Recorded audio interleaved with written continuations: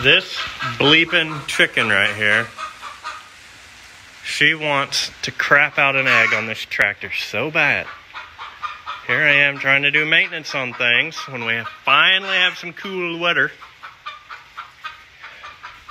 And this particular chicken is just trying to end up in soup. Hey, Amazon's here. Yay.